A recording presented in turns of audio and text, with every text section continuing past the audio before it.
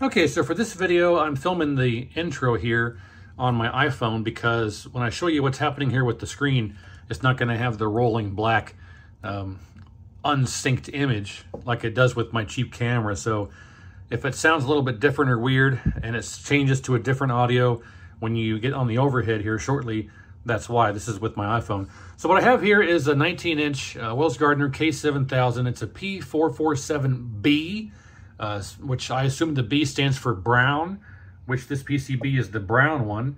And you can't see it, but roughly right there, uh, it says P447 Bravo. And I'll show you later. But the issue with this is that this was sent in to another repair person, and they fixed it. And on their setup, everything worked. It ran fine. They sent some images and a video to the owner of this and everything was fine. And when the owner of this received it, it didn't work for them. And as a matter of fact, the longer they left it on, this resistor here started to smoke on the neck board.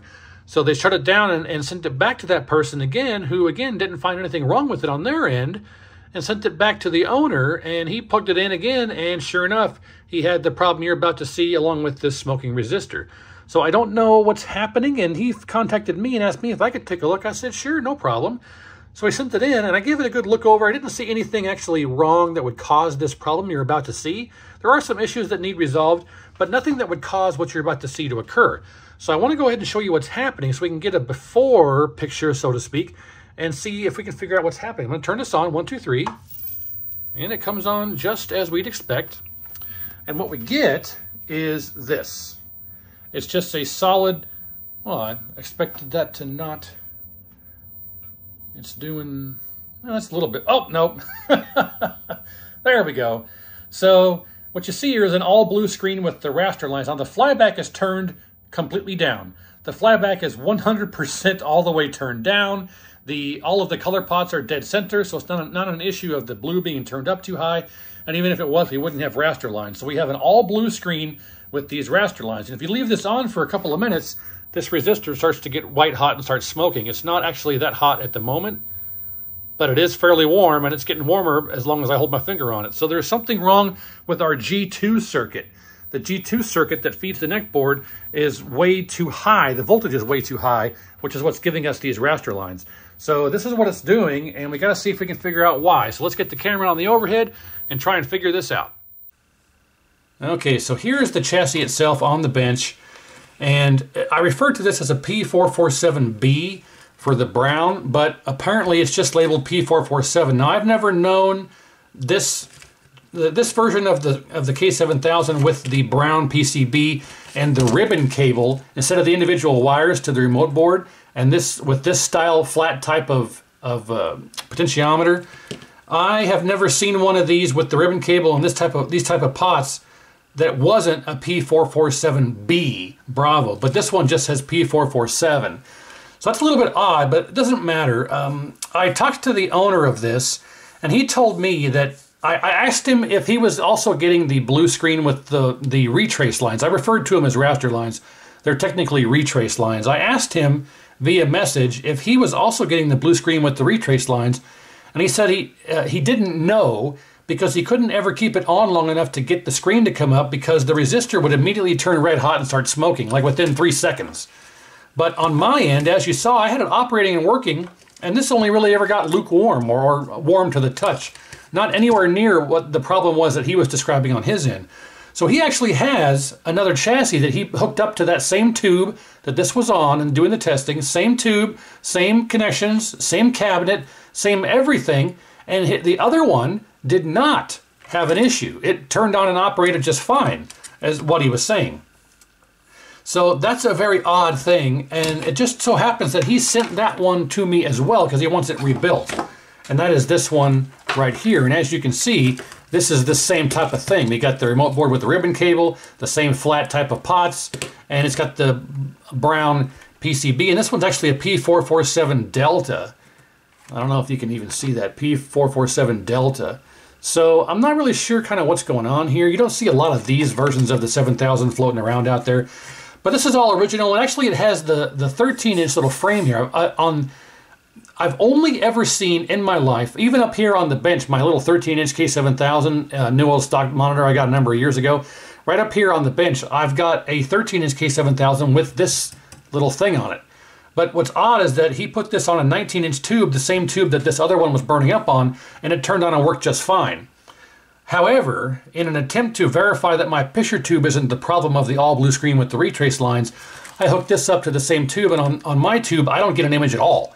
I get heater glow, it turns on, we get high voltage, but I have absolutely no image whatsoever. Flyback maxed out, brightness contrast maxed out, color pots maxed out. I get no image whatsoever with this chassis on my test tube.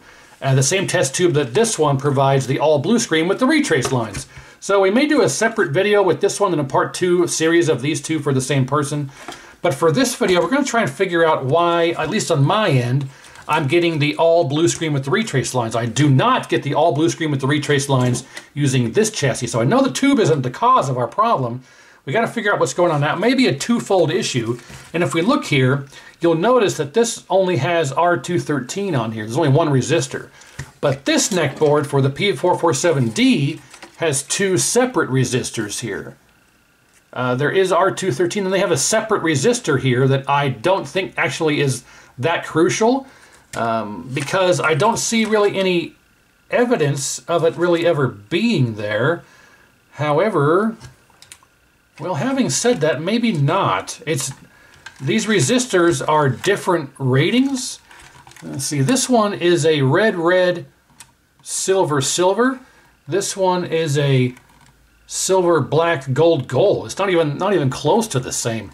Plus, you'll notice that this leg is in the far pin hole, and this one's in the close pin hole, and then the other resistor's in the, the far pin hole. So maybe there's something up with that. Uh, however, I don't think that's our main problem because it wasn't glowing white hot and it wasn't that hot to the touch, and we were able to get an image almost immediately.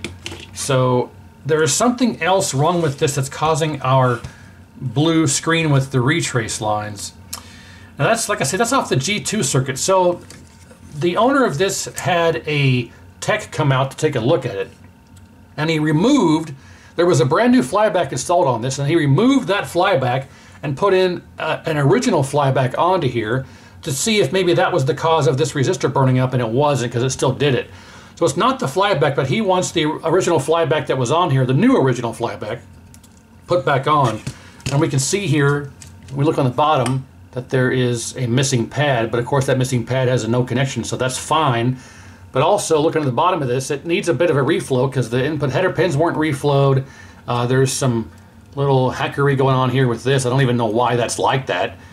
And then we have the heat sink here uh, is not soldered back in. I don't even know why it would have been removed. Maybe to try and replace some of these caps. I don't know, but it has been capped and it has been reworked, and it worked just fine on the on the bench of the previous repair person. And when the owner of this got it, it wasn't even able to be left on long enough before this started smoking. So I don't have an answer. It's not doing that for me. It's not doing that for the other repair person. All I can do is get this working to a state to where it's operational with no problem on my end.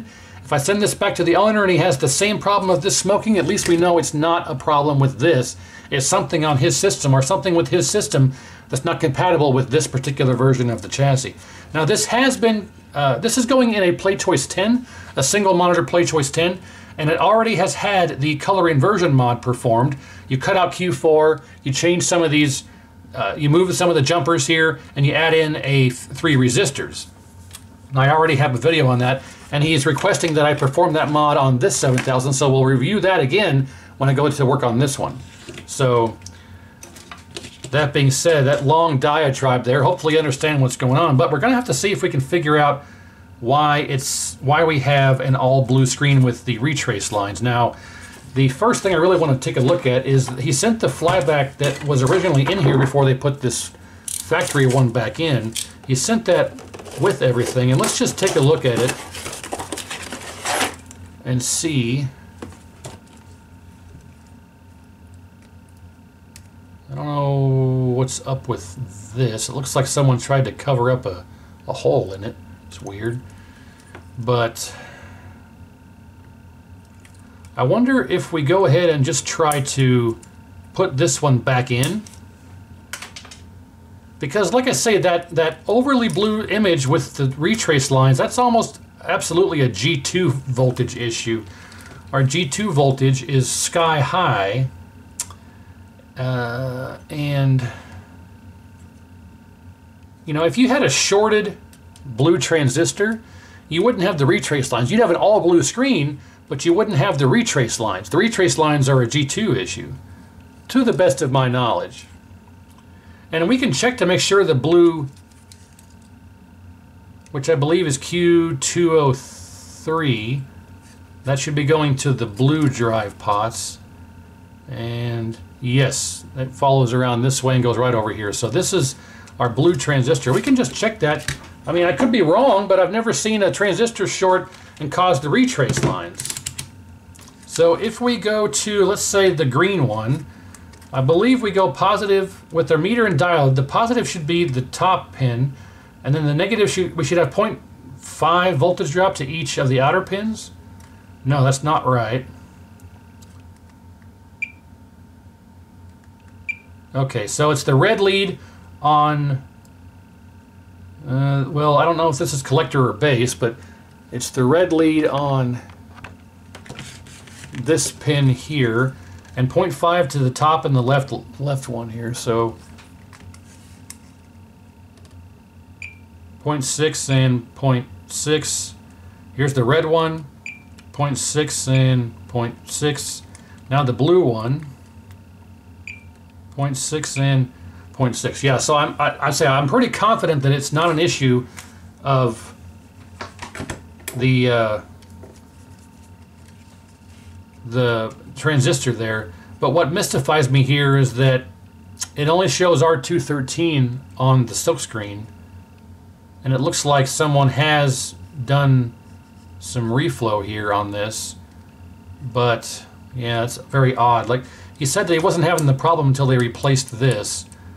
But I don't think the neck socket is our problem.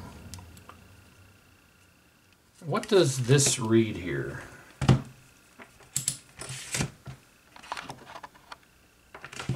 So this resistor on this neck board reads 2.2 ohms. On this other one,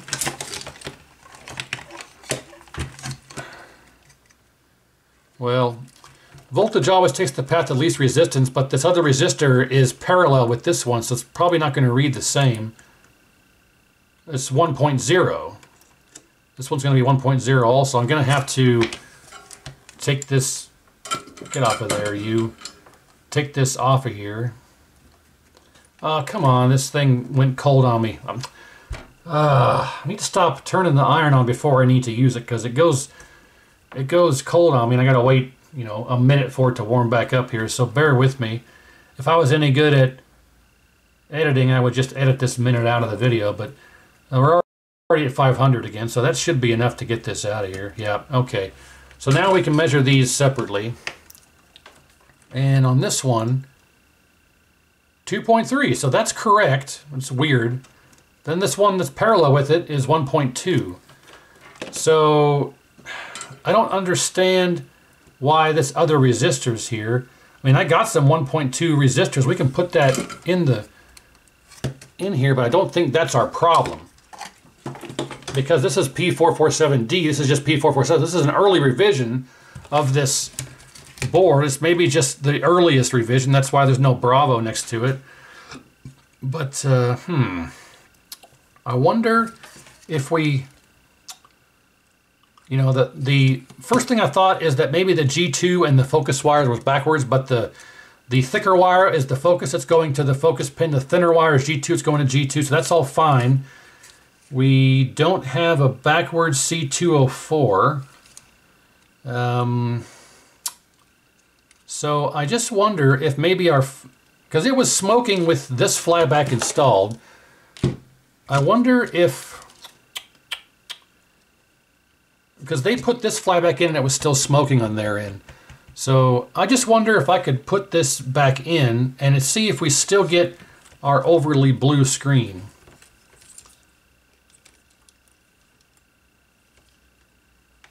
Yes. Hmm.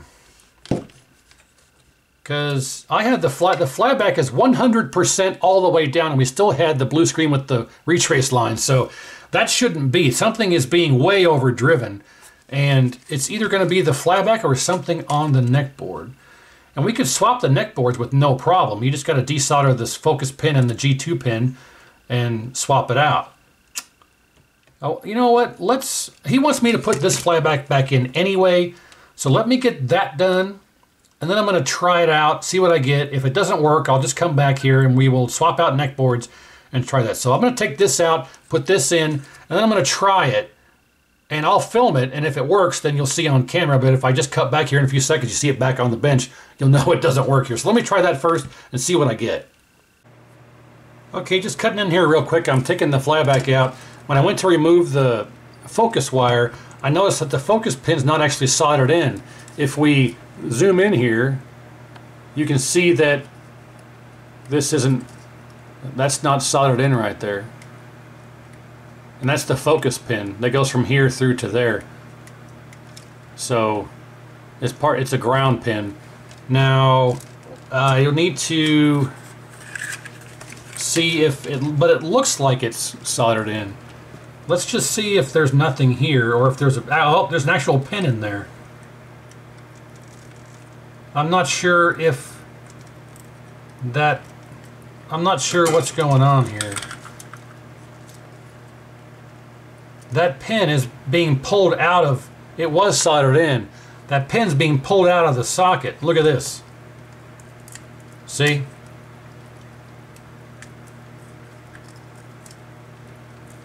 that pin's being is not secure in here. I can push this back in like that. So that's no good. Well, I'm going to put this flyback in and replace this neck socket because maybe this neck socket is our problem. Because he did say he didn't have this problem until the neck socket was replaced. So let me replace this and see what that does. I'll get this changed out I'll get this. I don't think this was the problem, but he wants the this one put back in, so I'll do that. But I think our problem after looking at this is the neck socket is our might be our, let's I'll get this changed out, and get the new the old flyback put back in, and see where we're at, and give it a test. All right, so the neck socket has been successfully replaced. I stole this off of a replacement, or I'm sorry, no. The replacement has been stolen off of a spare parts neck board that I've got uh, 3,000 of here in this bucket. So I replaced that. Here is the original one with the broken, uh, whoop, I dropped the closeout piece, that broken pin that pops out. So after replacing this and then putting the original new flyback in, uh, here's what we got. So that solved the issue. It's backwards because I have the uh, horizontal uh, yoke connection flipped. But it's working now. So the problem almost definitely was this because like he said it wasn't having any issues until they changed the neck socket so i'm confident that maybe this was the cause of everything on his end and what have you on my end with the blue screen with the retrace lines because now with this changed out now it's not blue with the retrace lines anymore so good and I need to go through and do some adjustments and things you can see that it's already inverted uh, and I need to flip this pin 4 here, or dip switch 4, and that should give us actual RGB. Yeah, there we go. So if I flip dip switch 4 back off, it flips back to inverted. Uh, yep, there you go. So, yeah.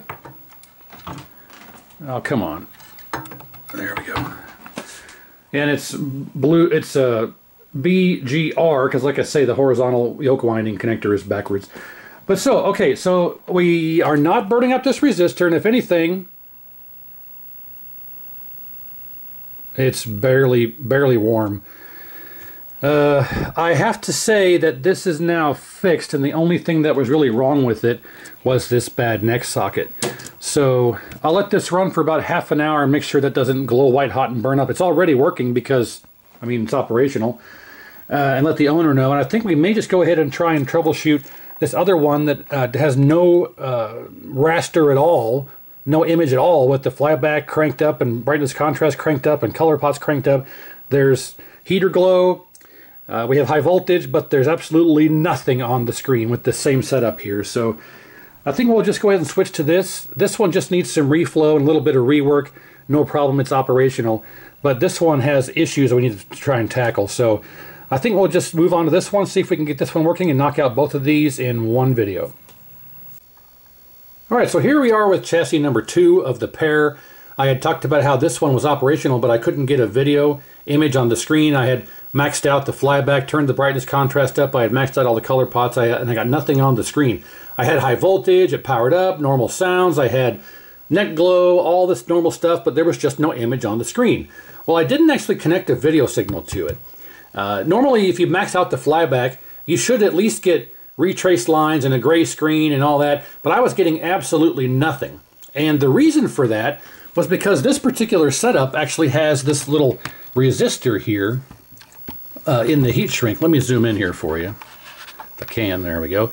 There is a resistor assembly here inside this heat shrink, and it's going directly to the frame here to ground. So this is bleeding off some of the focus voltage. It's not bleeding off the G2 voltage. It's bleeding off some of the focus voltage directly to the frame. Now, it may be G2 voltage as well, but you can see here the G2 wire is going directly to the neck board right off the flyback. So this is actually coming off of the focus wire. So it's bleeding some of that voltage to ground, which is why I'm assuming when I max out the flyback, I did not get any retrace lines or the gray screen. So I assumed that there was something wrong with this. But after hooking it back up here to do this part of the video, I gave it a video signal with the TPG, and it actually does work. So there's nothing actually wrong with it. I do need to make some adjustments here just to do a little uh, before to make sure everything's okay before I do the cap kit. All the caps are original. Uh, all the no one has ever touched this uh, from what I can tell. And I did think that it was a 13 inch chassis because there is a bracket here that's attached to the heatsink that I've only ever seen on the 13 inch 7000. I have a 13 inch 7000 new old stock here on my test bench that I've been using for years, and this has the exact same bracket. So I assumed that this was for a 13 inch because I've only ever seen them on a 13 inch, but alas, it is in fact a 19 inch. So I don't have an explanation for that, but the reason I was testing this when I was testing it off camera uh, before I had worked on the first one, when I first got it, I didn't have any actual retrace or gray screen because of that resist that bleeder resistor that's in there. I'm not sure what that's for. I've come across that a couple of times, but that's what's happening here. So anyway, after giving it a proper video signal, it does work. However, we have some 50, 60 hertz shenanigans going on here, so I want to adjust this stuff before I work on it in case it doesn't work afterward. I know it had an issue prior as well, so let's adjust this 50, 60 hertz pot. There we go, that should work. And we need to adjust our H position over some touchy controls there. Vertical size. Uh, vertical position. That's good. Well, that's not bad actually. Um, let's turn our brightness down till our background is black right about there. And hey, that's not bad at all. Uh, the focus, though, if I recall, had to be maxed out. So here's the focus completely maxed out. If I turn it back to the left, it gets out of focus. So the flyback's going to have to be changed because I have to... You want the flyback uh, focus pot to be roughly about in the middle or two-thirds for proper focus. If you have to max it completely out for it to get in focus, then the flyback is going out. You need to change it. So he did, the owner of this did provide me with a new flyback and he specifically requested me to replace it. But I told him I'll only replace it if this flyback is actually faulty because there's no reason to replace a good one with an aftermarket market one. Easy for me to say aftermarket one because if they're these are notoriously unreliable, and so it's luck of the draw whether you get a good one or not, and there's no reason to replace a working one with a aftermarket one if this one's working. So it does work and operate, as you can see, however, I have to have the focus completely maxed out, which means the internal focus resistor is going bad. And, you know, it could have something to do with this thing, but I don't think so. So when I replace this flyback, or when I put this flyback on here as a replacement, I'm not going to include all that stuff to put it back together. So but as you can see, it does operate. I do need to make sure that the width actually is adjustable. So I'll grab the width tool here and I'll put this in the width coil. And, oh yeah. Perfect. There we go. So I think we're going to have a successful rebuild here. So this cuts our work down tremendously because it, it operates. Uh, we don't have to worry about power supply problems or anything like that. We'll just do the cap kit, the reflow, the color inversion mod, and hopefully oil and change the flyback. And hopefully this will be good to go and we'll have two for two here for this person. And uh, let's get cracking on that. I'm going to take this off of here and we'll get cracking on um, the color inversion mod. Actually, you know what? I'm going to do the cap kit and the flyback off camera. I've got plenty of videos on that stuff. And for this one, I'll cut, cut away, come back, I'll have all that work done, the rework, the cap kit, the flyback, and then we'll do the color inversion mod. So as you can see here, it's normal RGB. The color inversion mod, when we get done, it should be inverted color when we do go to test this. So I can simulate that right now by flipping that switch, switch number four, and turn this off and back on. Uh, you can see here that switch number four on this uh, is I and V for inverted. Normal operation is RGB with the switches up. And I turned it off and on. Colors are still correct. If I flip the inversion switch and turn this off and on, colors are still correct, but it only inverts the RGB. See here? This is inverted RGB. If I flip switch number four, it goes back to normal. So when we turn this off and on, if our color inversion mod is successful, regardless of the position of the switch, which we actually need to leave it engaged for proper RGB when the colors are inverted, uh, this should have an inverted screen too. So when you flip this switch, it only affects the RGB screen, not the main front screen here when you turn it on, the initial screen. So this should be inverted as well when we turn this on after our inversion mod. So let me get all the work done. I'll cut back on here and we'll get ready to do the inversion mod and we'll test it afterward. And hopefully that'll be two for two and we'll wrap this up, so stand by. Okay, so full cap kit's done, full reflow is done, inspection is done. This thing's ready to go. Flyback is changed, the whole nine yards.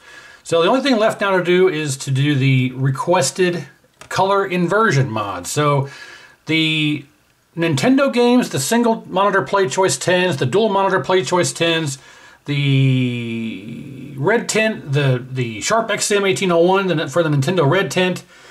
Oh, what else? I think that might be it. But the, like Donkey Kong, all the Nintendo games in the arcades were all used uh, all used inverted colors, meaning the, the red, green, and blue were you know inverted backwards in the signal. So in order for you to use a normal, regular, non-inverted chassis, you have to invert the colors. Like the Sharp XM 1801 on the red tent had a switch you could flip to switch to inverted to non-inverted. And the Sanyo 20EZ had a little uh, inverter board mounted on the top of the flyback cage you could use to switch some connections and invert and non-invert the colors. But for these, your only option uh, was ever really regular standard RGB. But you can easily convert the K7000 to inverted colors with a very simple set of procedures here. So the first thing we have to do is Q4. Q4 has to come out. Q4 Get that sucker out of there. These three bipolar caps, they need to move to the other position. You can see there's two open spots there, two open spots there, two open spots there. We take these three bipolar caps and shift them up one position to those empty spots. Then we have to remove the jumper here at J8, the jumper at J9, the jumper at J10, and move them to the upper spot as well. Just like the, the caps here, the jumper needs to move to the top spot, jumper moves to the top spot, jumper move to the top spot. Then in the original position that these jumpers were in, that's where we install, install these 680 ohm resistors. So that being said, I'm going to turn my fan on here and we're going to first remove the Q4 transistor here. So it's very simple. The easiest way is to just add a bunch of solder directly onto the Q4 legs, which are uh, right here. We'll just add a bunch of solder to these legs here right here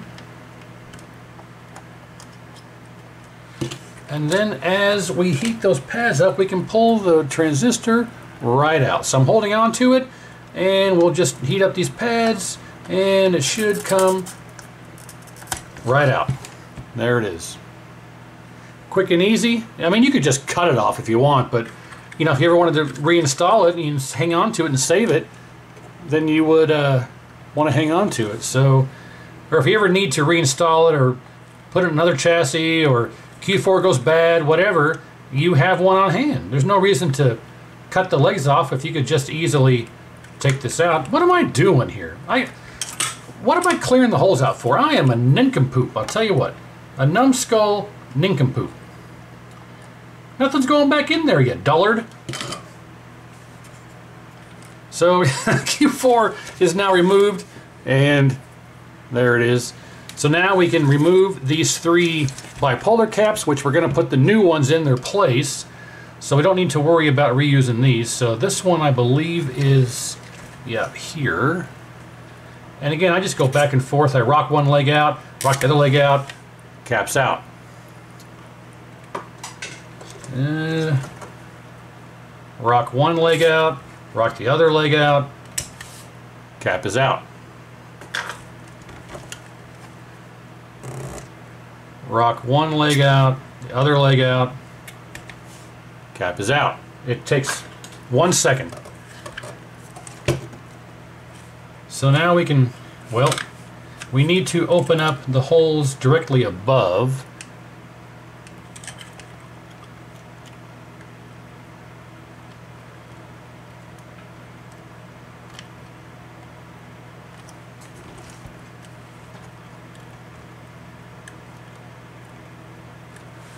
Alright, now we can install our three new ones here.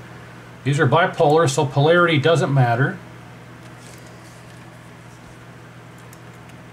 Don't put it in the wrong spot. I am a nincompoop. An ultra maroon, or, or a darn fool idiot, however you want to refer to it. Okay, so there's those three in the upper spots, as you can see. You darn fool idiot galoot. We'll fill these original holes up here. We'll try anyway. There we go. Being stubborn.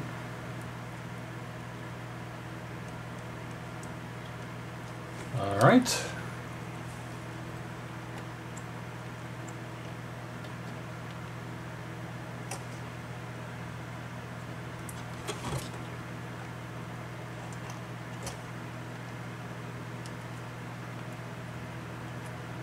And there we go. It's just that easy.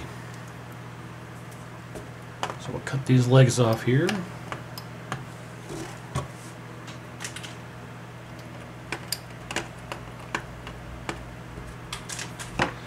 So there's those. I'm going to mark them before I forget because I have a tendency to do that.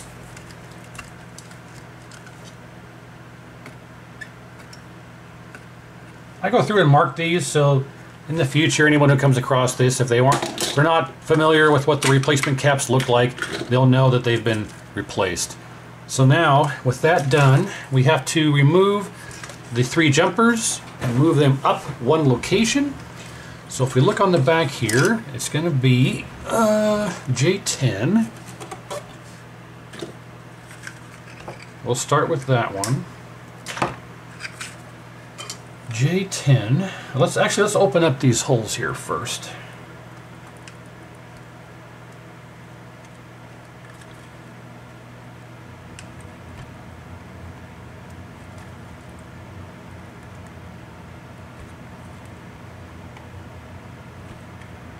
All right, so now we need to get J10 out of here.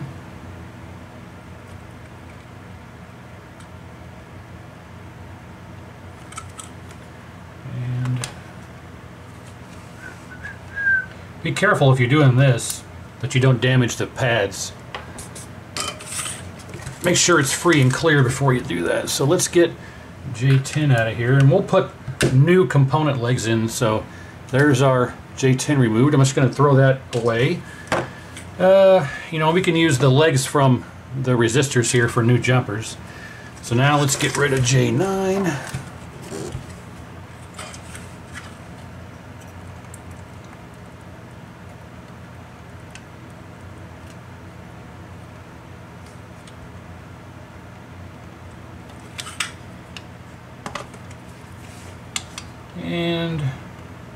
Okay. That's a rather uh, brute force method of doing it, but you know, if you remove all the solder, you don't really got to worry about damaging the pad. So just make sure all the solder is removed before you try and poke that leg open. Or I'm just using the tip of the iron to bend the leg straight, so to speak. Just make sure all of your solder is removed. So that was three successful ventures there on getting these jumpers out.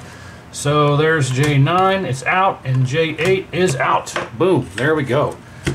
So let's grab three 680 ohm resistors and we'll bend our legs thusly. Put these guys in here in the original J10 location.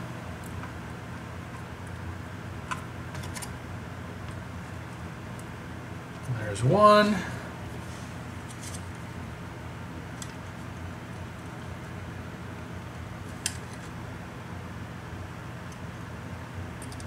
There's two for one for oh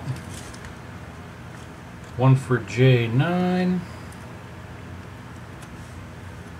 Okay, and one more for J8.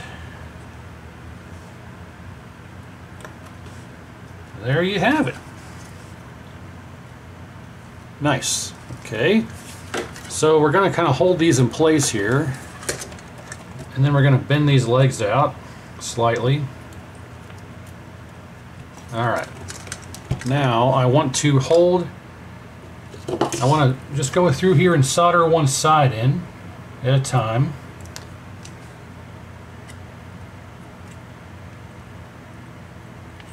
Then I want to look and see if they're sitting flat. No, that one's not. So we'll push on the resistor as we heat up the leg that we just soldered. So now there, that's nice and flat. We'll go to this one. That's nice and flat. We'll go to this one. That's nice and flat. And if we look on the top, there we have it. So now we just need to solder in the other leg and we'll be good.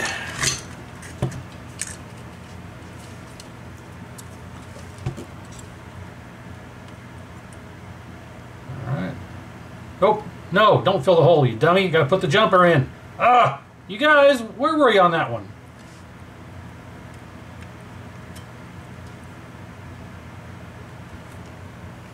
All right. You didn't stop me. You let me sit. You sit right there and let me fill that hole with solder, and I shouldn't have. Some friends you are. Okay, now, do I want to use the legs? These are pretty thin. I think maybe, I think maybe I'll use some of the legs from the capacitors I just snipped off. So, if I can find them, I threw them all in the garbage here. There we go. Here's one that will work. After I cut the legs off, Again, remember I'm a dullard, I forgot to do that.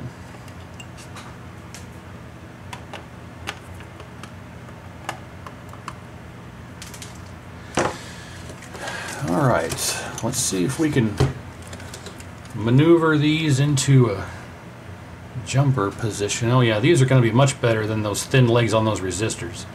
So, let's... Oh, well, how about that? That was perfect first try.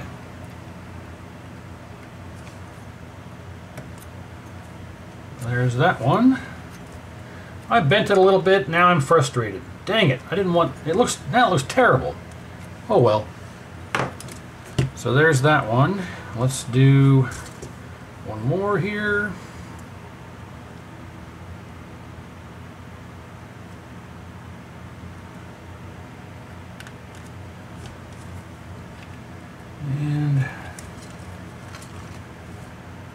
Have it. Sorry about that bad camera work. All right, and one more. I want to set this like that. All right, one more here. Is this going to be too short? I think this is going to be too short here. Alright, well that's all I get for that one. Cut my life into pieces. I just need one darn leg.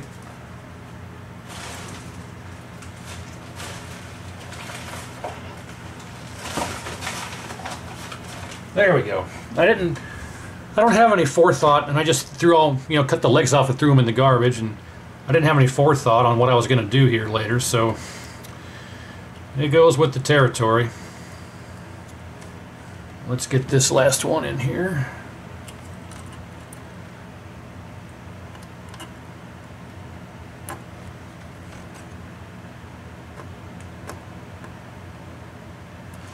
Oh, come on, you dirty, rotten bum, you.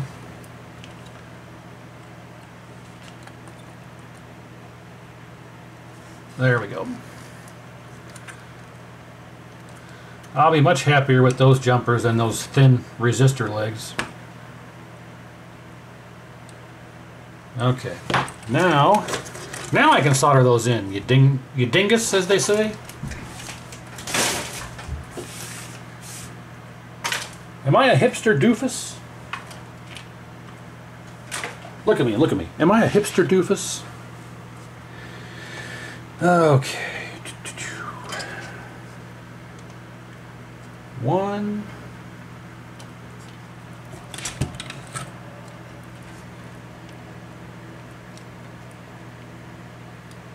Two. Three. I need to trim this one. That one. Okay, now let's clean this up.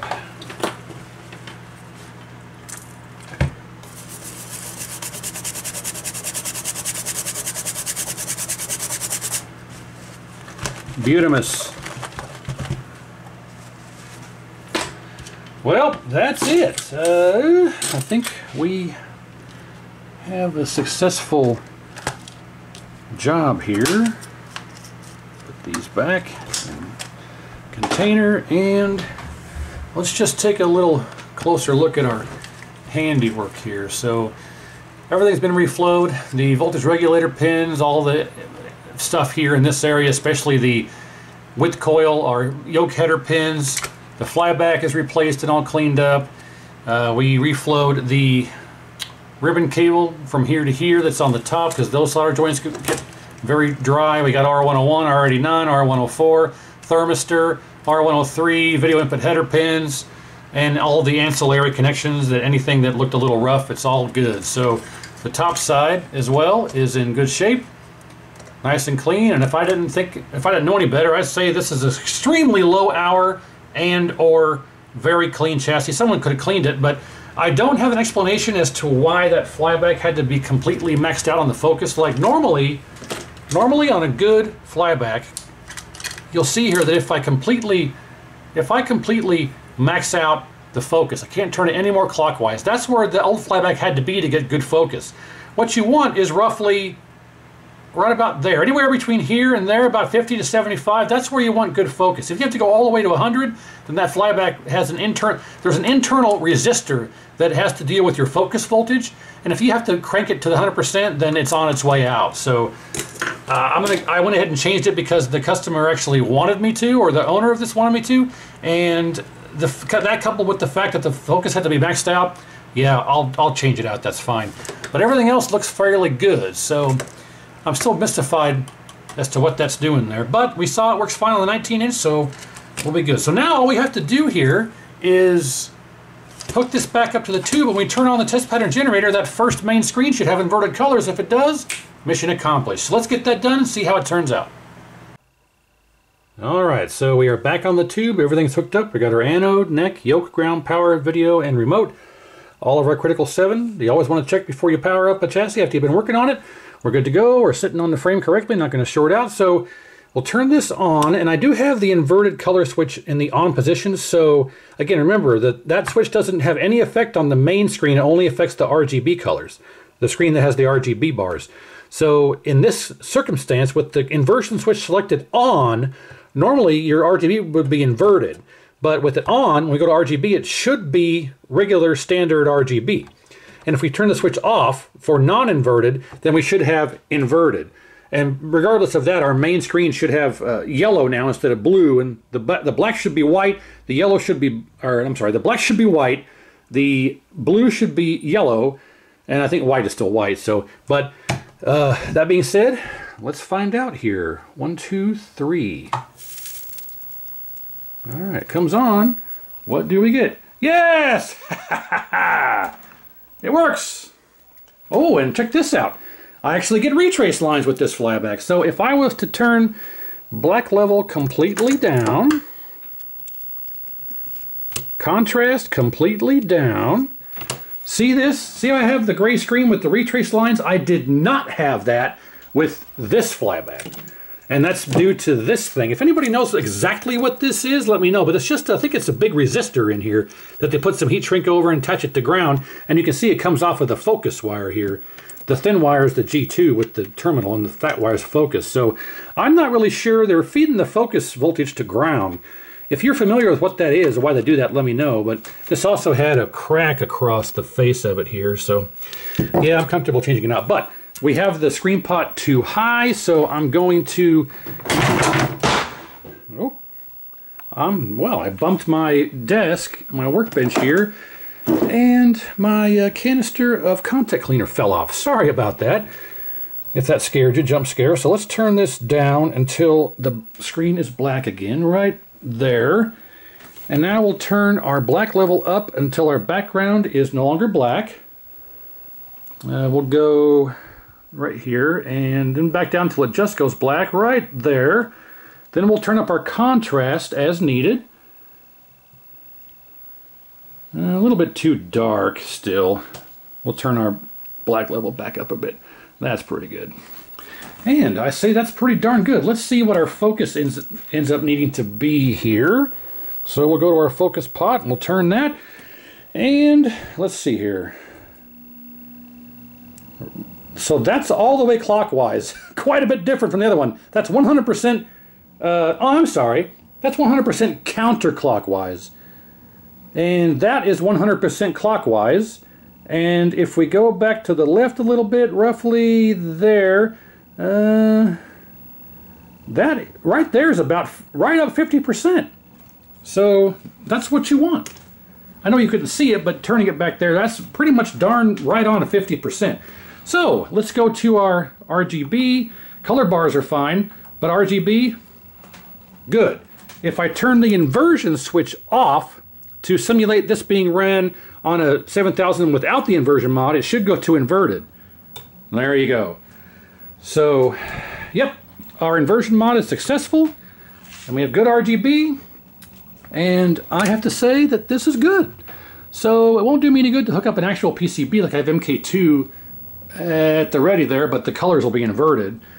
Uh, but for, for all intents and purposes, this is complete. So yeah, two for two. This one is successful. If you know what's going on here, let me know.